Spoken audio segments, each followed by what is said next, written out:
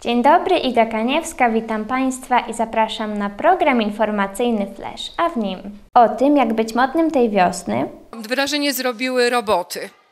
Te wiosenne roboty, które naprawdę kosztowały wiele pracy. oraz zaprosimy Państwa na imprezę o tradycjach wielkanocnych. Bardzo się cieszę, że święta, które się zbliżają i nasza impreza, wielkanocne tradycje po raz kolejny y, pomogą w tym, aby spotkali się ze sobą mieszkańcy gminy.